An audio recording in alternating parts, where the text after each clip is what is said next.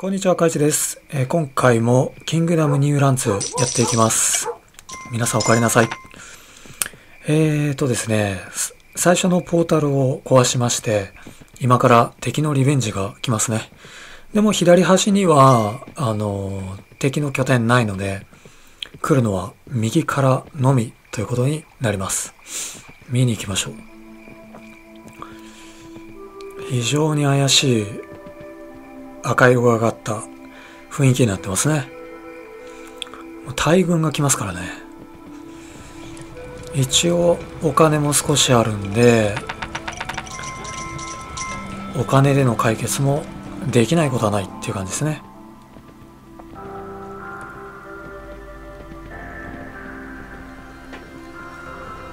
さあ、うちにおいで。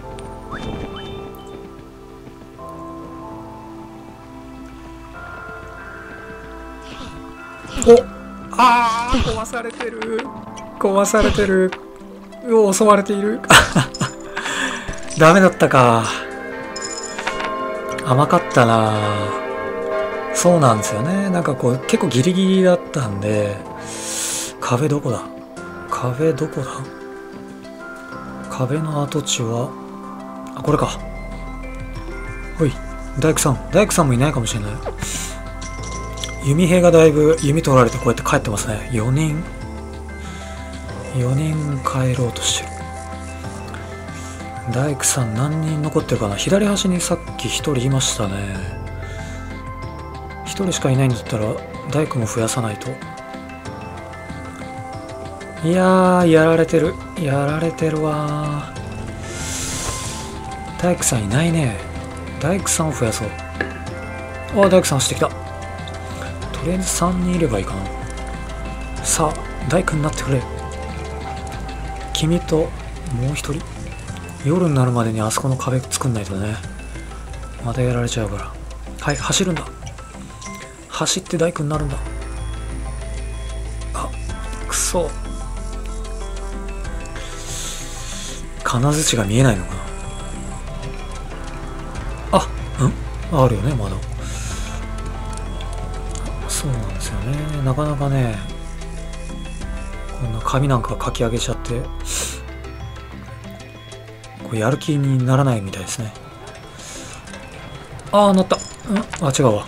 おい大工さんいらっしゃい。ということであと弓兵にしよう。弓にならなるでしょ君は。おい。あやばいな。夜になっちゃう。やばい。やばいやばいやばいやばい。お金もそんなんないけど。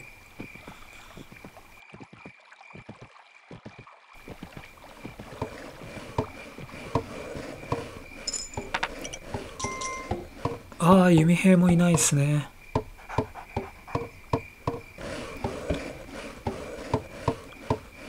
とりあえず壁はできるか。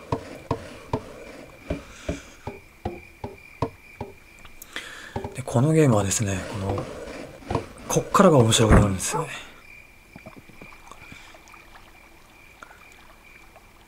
もうあと右側にポータル1個と壁が1個。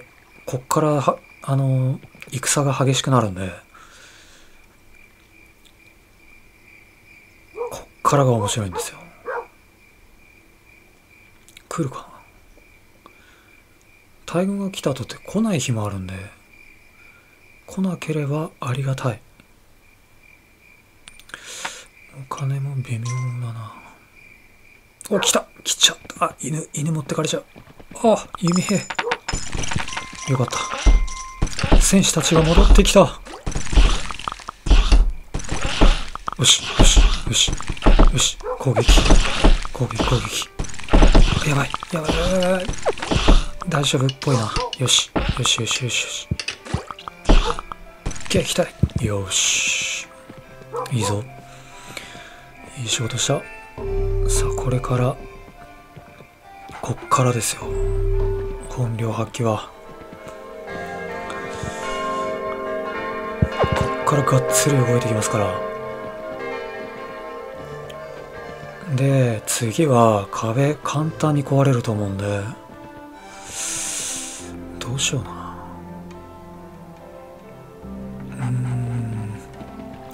こに壁作ってもしょうがないんだよな。おいで。大工さん結構いるかな？本当ここにも作りたいな。君何してるんだい？結構いるな。結構リクルートした。はいはいはい。弓が足らん。であここ作れないんだ。そっか。木が木が近くにあるからね。よいしょ。はいいってらっしゃい。あお金が足らん。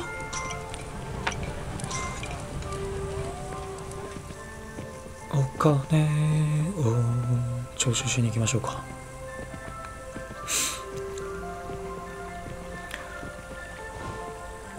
徴収かつ、えー、左側はですね資金源にしますんで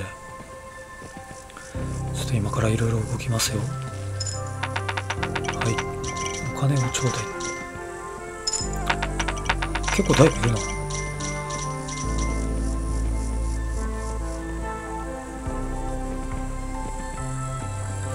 走れ。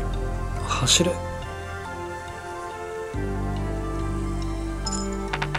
だよね。構溜まってきたな。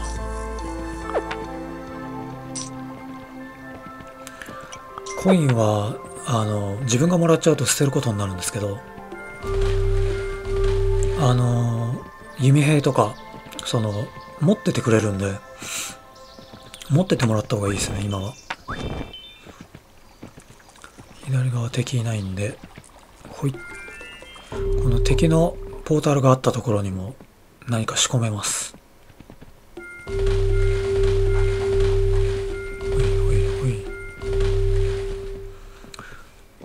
大工さんお願いします。桟橋ですね。夕日が綺麗だ。お。何にもないのに鹿がいます。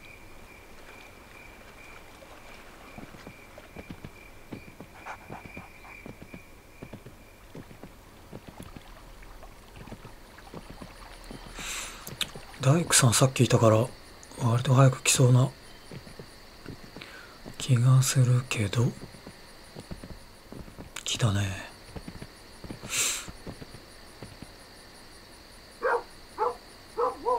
そうだよね。右端敵来てるよね。まあ多分大丈夫かなあの感じだと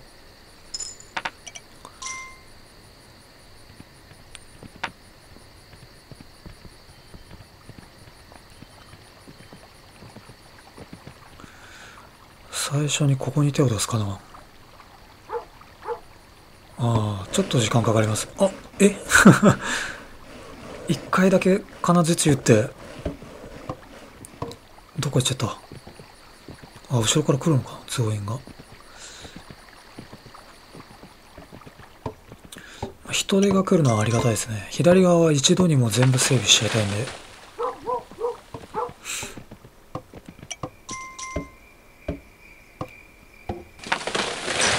左側の前線をなるべく左の方に持っていきたいんですよね。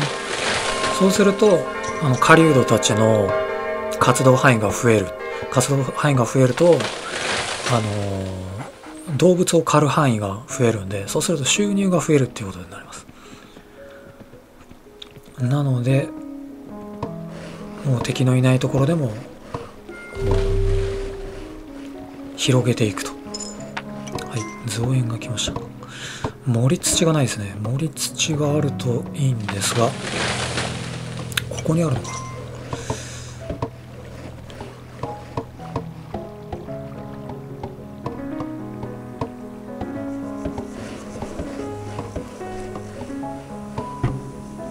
はいポータルができました。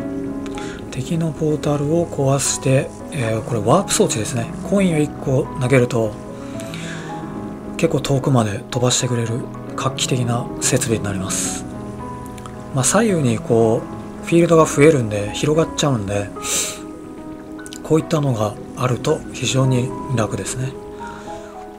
ほい。ほい。盛り土を探せ。よいしょ。さあ君も行こう。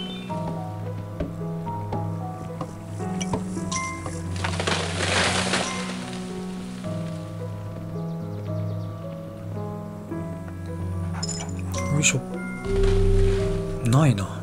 ここにあるんですけどね。これキャンプ壊しちゃうんで手は出したくないですね。となるとこっち側からか。よいしょ。よいしょ。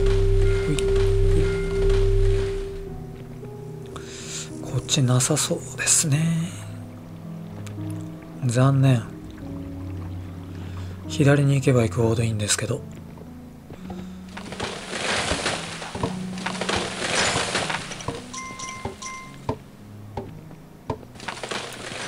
もう一人ぐらい来てもいいんだよ。うん。ここ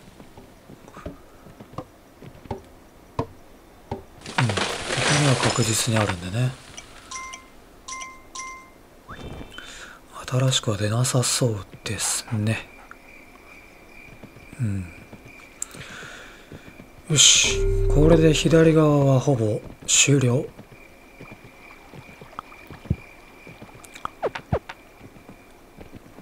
お金はまだあるか。よいしょ。あいかんいかんいかんいかん。ここで牧草を食べて。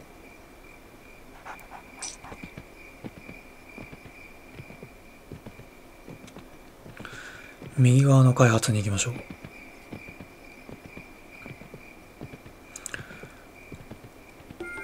その傍らもこっちもあの高跳びの準備もしていきます。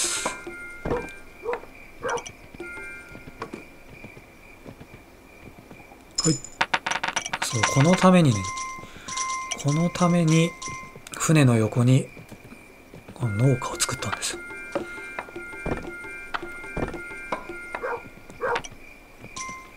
そしてさっきの左の夢平さんがお金ありますんでそれをもらいましょうか。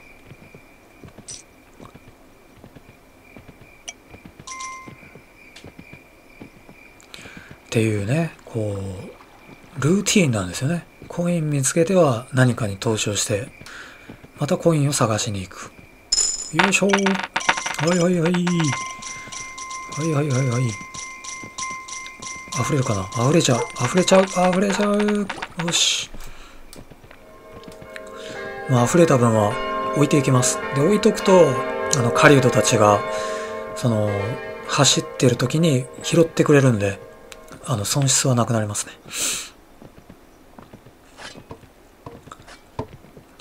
はい。よいしょよいしょよいしょよいしょ。で右足の開発にもコインはいるんですが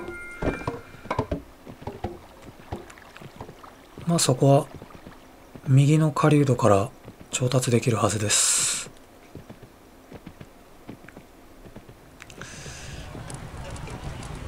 はいコインお願いします。で右端行くのかな？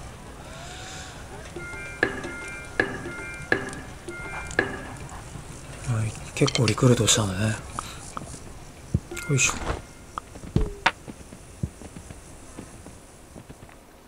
うんうん。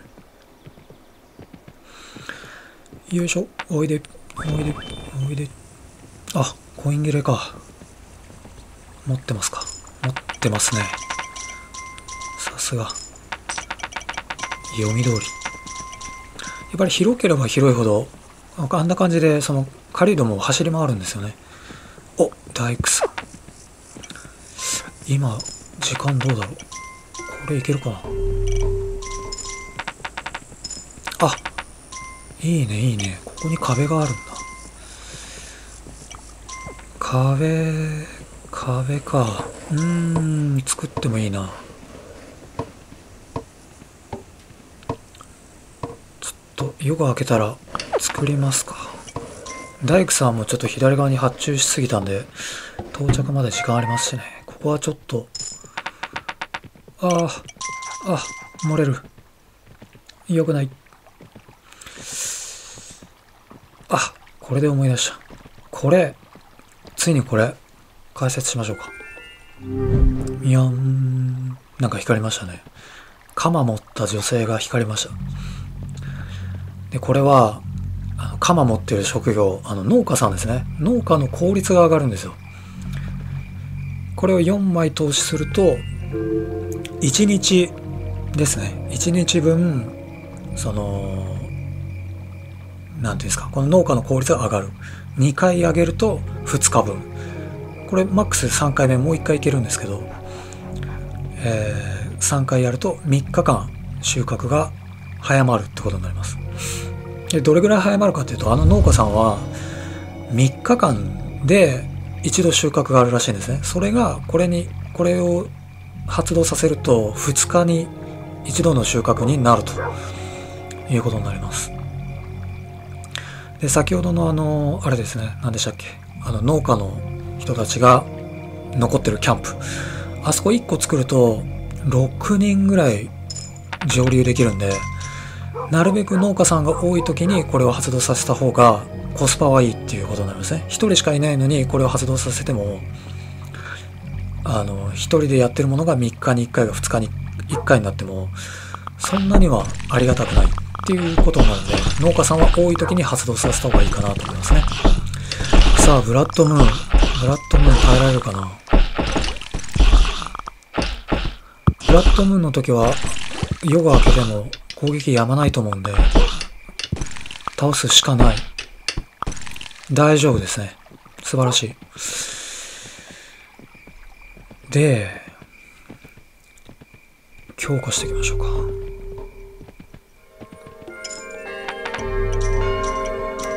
さあ大工さんがいっぱいいる。いっぱい欲しいよ。もっと来て。左側にいる人もっと来てちょうだい。の日中に仕上げないと。あーコインはいい。コインはまだいい。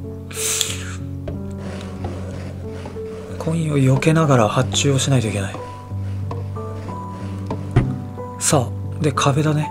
壁が壁の方が大事よ。大工さん一人か。おいこっち。大工さん。大工さん。一人じゃきついよ。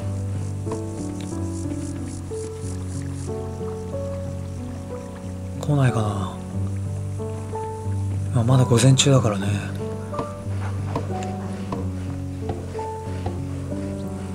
やばいやばいやばい。コインを持った狩人たちがうろうろしてるから。コインをもらっちゃう。おいし。ほらそうなんですね。ああ来た来た来た来た来た来た。いいね。修繕修繕。修繕しなくていいわ。次のグレードにしましょう。さあさあさあ。もうあと1人2人来ていいんだよ。大工さん来た。いいねいいねいいねいいねいいねいいね。でなるべくこの外側のこのここの高み台をね鍛えたいんですよ。夜の間にここ内側鍛えれるんで。さあさあさあ。で硬いのができます。できる。これで結構耐えれるんで。よし。お願いします。これで終わりだな。日中は。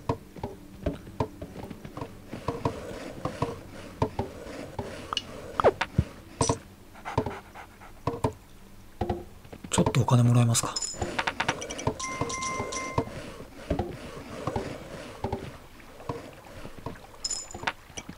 あ実はあまり持ってなかった。あー夜が来るよ。大丈夫かい？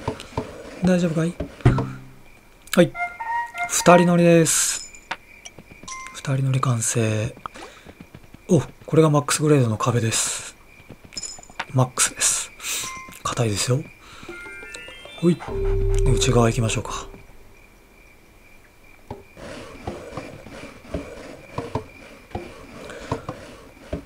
こんだけ守りを固めればね当分は大丈夫です。よただ今自分が考えてるのは今度あの右側のポータルを壊したら敵のリベンジがあるんですけどそれがですね恐ろしいわけですよ。もう一丁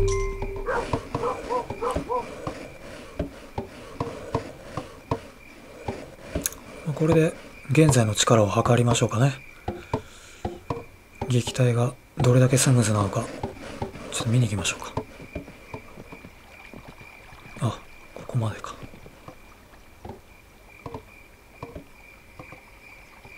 ちょっと犬が心配なんですね。こう勝手に前に行くんで。あれ？敵は来ない。来ないうん意外吠えてるけど。吠えてるけど来ない。よし。グレードアップ。これですね。3人も乗っちゃいますよ。3人攻撃とは無縁のアタッカーが出来上がるっていうのは心強いですね。しかし私はここでは止まりません。さらに上を目指しますあそうかじゃあこの日中に一番前の壁も鍛えときましょうか。よいしょ。いいっすね。オッケーオッケー。そして今から根回しに行きます。交渉です交渉。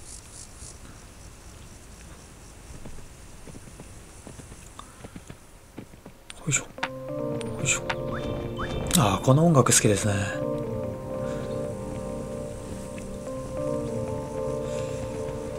さあさあさあ。んで騎士兵を2人。あ足らない。足らないか。も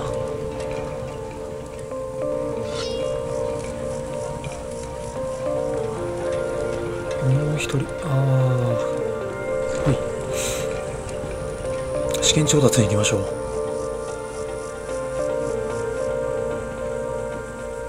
大工さんこの方です。交渉します、えーちょっとついてきてくれませんかね。OK 1コインで OK です。おばあちゃんが後ろに乗ってます、この乗り方は結構難易度高いですよね。乗っちゃってますね。で今から激戦になるんで、まあ、このリスクエッジも終わらせましょうか。完成するんじゃないですかね。まだか。おああかあまだか。ほい。まあ、僕ちなみにこの牧場のことをあの銀行って呼んでるんですよね。あのずっと溜め込んでてくれるんで。で引き出すと。行くんじゃないかな。どうだろう。ほいほいほい。ああ意外にまだある、ね、左端の狩人にちょっと成果を聞きに行きましょうかね。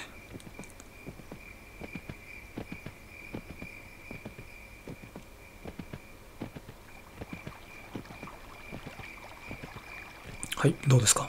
おお、ゼロ。ないですか？あなたはどうですか？そうですね。いいと思います。はい、皆さんどうですか？ブワー。ブワー。あ、でも思ったほどって感じですね。まあでも短期間だったらこんなもんか。今バサッとおばあちゃんを降りましたよね。あの、おばあちゃんルールがあるんですよ。その壁の、これですね、この、この夜の場合、夜の場合だけなんですけど、壁の外のこの、提灯っていうか、炎の外に行くと降りるよ。私はその奥には行かないよって言って降りちゃうんですよね。分かってるよと。安全なところだったら大丈夫なんでしょ？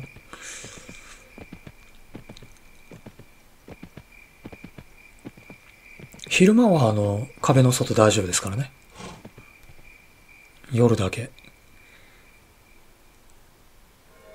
でさらに言うとこの後ろに乗ってるんですけど敵が後ろから追いかけてきてアタックされるとこのおばあちゃん連れてかれるんですよ。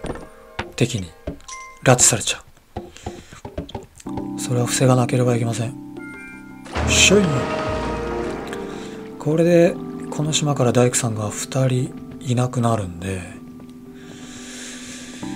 さらに大工さん増やさないといけないですね。ただ高飛びの準備はこれでちょっと進んでいます。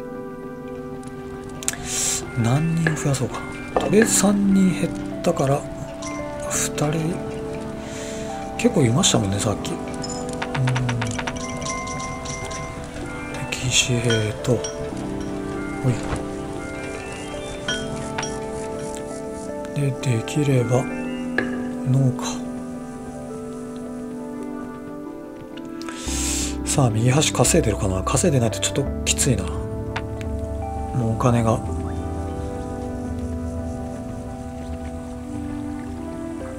あーここも終了しましたね。まあ今回はちょっと投資はできないですが。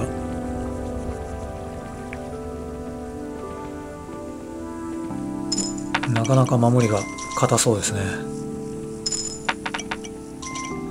でおばあちゃん発動はい。おばあちゃんがいるとこんな感じで再投資できると。今ちょっとぴょんぴょん跳ねて喜びましたよね。おばあちゃんのですねその知恵の結集ですね。3人乗り以上のパワーを出すぜと。ちょっと見ましょうか。コイン何枚あるかな。あまだいけるか。もう一個作ろう。あでもパワーが分散しちゃうから。はい出来上がりました。これは名前をバリスタと言います。弓兵3人で撃ち落とすのではなく大工さんがですねあの前線戦戦前前線に立って戦い始めます。まあ、大工さんが一人いなくなるのがネックなんですけど、どうやら、もう右側には大工さん一人になっちゃったかな。あ、大工さん作らないかんですね。あ、でもさっき作ったか、二人。ちょっとこのパワーを見ましょうか。3人乗りの高台を見ることなくバリスタを見せてしまうっていうね。順番おかしいんですけど、うん、こちらもスタンバイができたみたいです。ダブルバリスタさあ来ます。あなたの力を見せてちょうだい。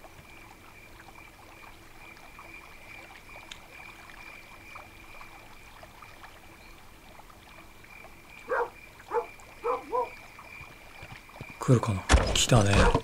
おお一撃で。一撃で粉砕しましょう。おう。この迫力の音ね。ほい。ほいほい。ほいほいほい。壁に到着する前に倒しちゃうよっていう勢いですね。うわ皆さん見てください、これ。この量。大丈夫か？なとりあえずバリスタはもう壁の手前になるともう全然効果がなくなるんで、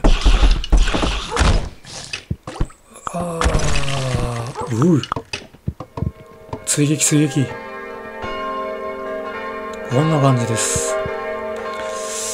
だからもちろん3人高台がここの左右に置いてあると今の場合は結構対処はできたんですけどあの僕が見据えてるのはあのあのちっこい大群ではなくて次の敵なんですよ。次の適用にバリスタにしてるんで。じゃさらに準備を進めましょうかね。人数もちょっと足らなかったかな。で、今のシーンちょっと見ましたかねあの、注意深く見ると、壁が壊れそうになったら、あの、騎士兵の人たちが後ろに下がったんですよ。あの人たち、すごい保守的なので、やられそうになると、あの退避するんですよまあそれがいいところでもあり悪いところでもあるんですけど後ろへ下がって、まあ、生存確率が高いってことですね。壁が壊れるまで、その、弓兵として戦い続けてると、壁が壊れた瞬間にやられちゃうんで、それよりはいいかもしれない。けど、あとちょっとで倒せるのにっていうところで、あの、下がっちゃうんで、それが良くないですね。さて、念には念を入れて、ここでも発注します。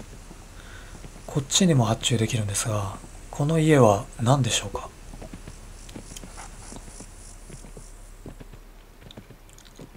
お楽しみにって感じですね。大工さんも作らないかんですね。さあ、もう船もないんで、金を、お金を、お金を、これは全部軍資金になります。あなたたちの身の安全を守ります。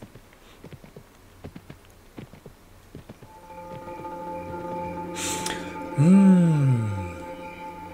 不穏な音楽が。ブラッドムーンではない気はしますが。あ、コイン結構ありますね。とじゃあ戻って投資をしましょ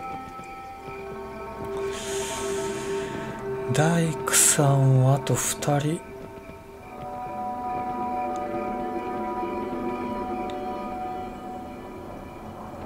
ですね。増やして。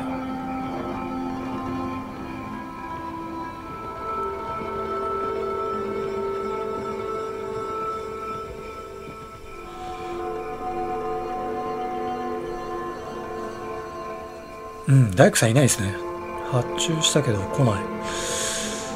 あーちょっと多いかもしれないけど3人。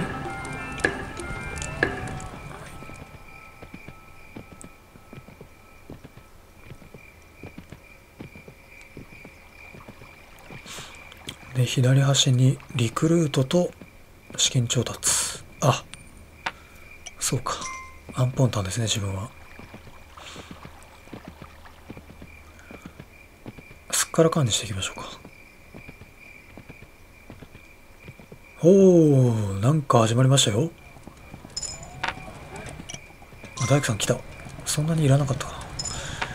これカタパルトっていう設備なんですよ。あれは壁の間際に到着するとパワーを発揮します。でここあの昼になるとあこのこの人でこの人。この怪しげな人帽子かぶった人。この人あの銀行係でこうお金を貯金してくれるんですねこうやって。なのでちょっとこの人にですねわーっと上げてリクルート用にまあ2つだけコインがあればいいかなって感じでお金を預けていきます。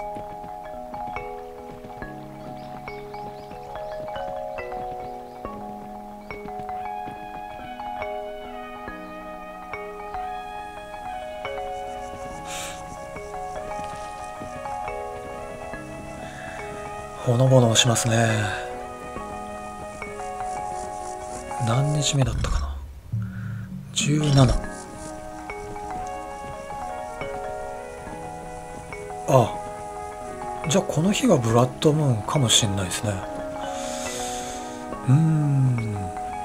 できればその壁際を見たいですね。間に合うかな？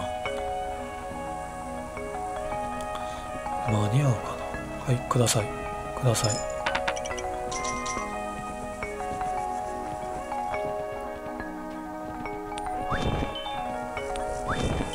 予想外にない。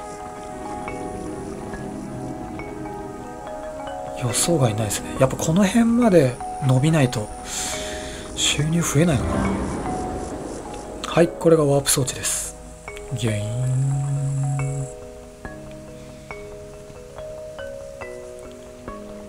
でどこまででもいけるってわけじゃないんですよね。でしかもバグることあるんで。もうバグっちゃうんですよ。それが困るんですよね。だからあんま行き過ぎない方がいいと。あカタパルトここまで来ました。そうなんです。カタパルトはですね移動が超遅いので、作り時を間違えると、痛い目見ますよ、本当に。痛い目あってきましたから。この移動時間考えないといけないんでね。すっからかんです。すっからかんの王者様。あ、ちょうど夜間に合った。はい。あ、ない。うーん。ちょっと計画を立てましょうかね。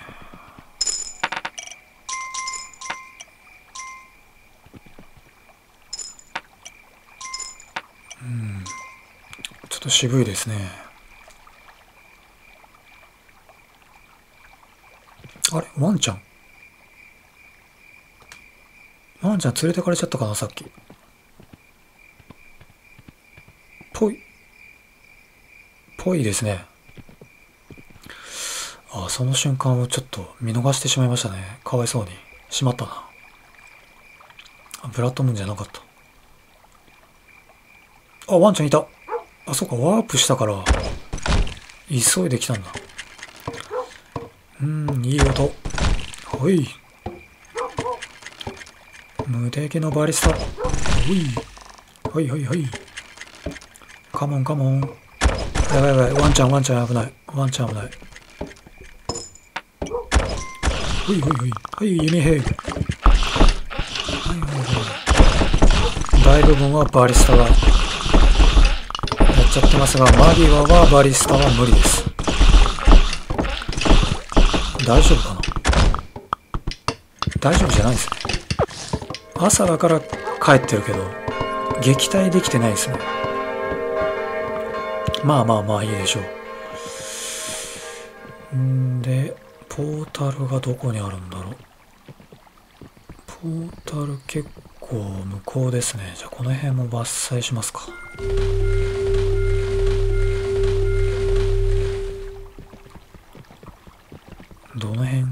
かな標識があって、あ、この辺か。うん、でもここまで上がってきちゃうと、リスクも高そう。やはり撃退するならあの壁ですね。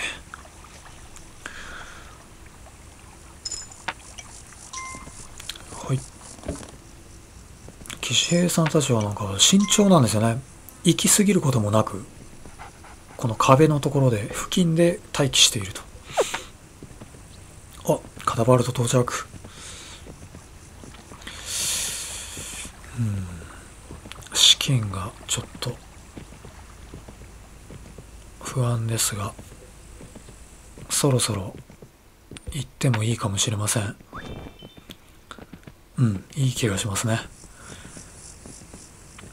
ポータルを撃破しましょうか。で、この動画も結構長いですね。今、あ、え？もう38分？ああ、よくないよくない。長くなっちゃうんで、あの、節目をですね、このポータルを撃破したらにしようかなと。ああ、しまった。これ貯金だ。貯金もらってもしょうがない。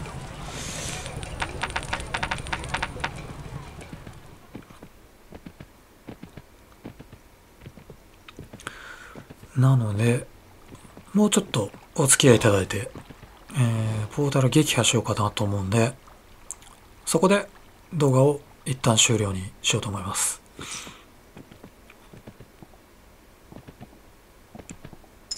どうですか？成果は？いいですね。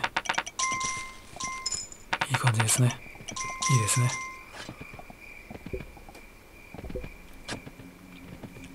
うん。ブラッドも来ました。いいですね。これに耐えられれば、えー、ポータルを撃破してそのリベンジアタックにも耐えられるということになりますね。これでちょっと戦力チェックをしましょう。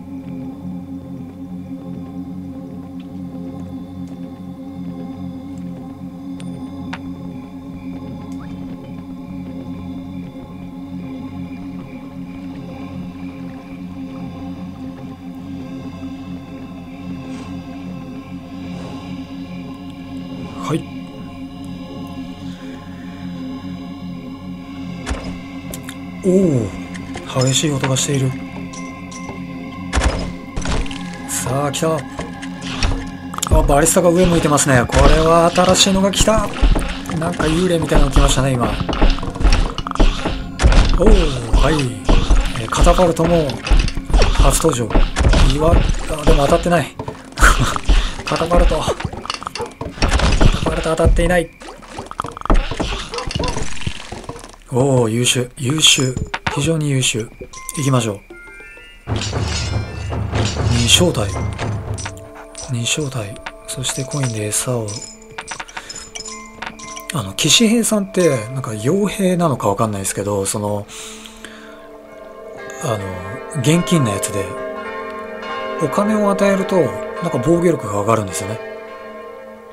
最初それ知らずにえっとこの騎士兵発注するのに6コイン必要だと。で、ようやく6コインで、その、上がってきてもらって、今みたいに出兵するのに4コインいるんですけど、そしたら、ポータルの前ですぐやられちゃうんですよ。あ、10コインが、10コインが消えたみたいな。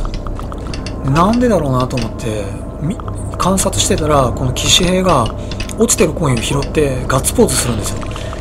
拾ったみたいななんだろうと思って、まあ、一応いっぱいコインあげたらすごい防御力上がったんですよねこんな感じで。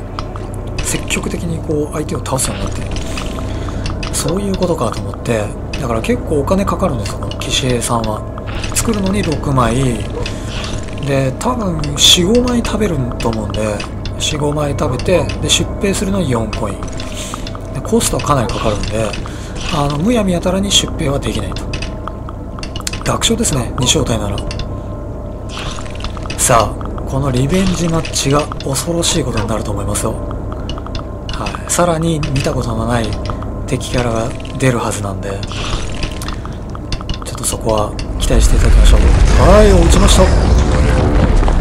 た。ということで、えー、今回の動画はここまでになります、えー、次の動画でお会いしましょう。ご視聴ありがとうございました。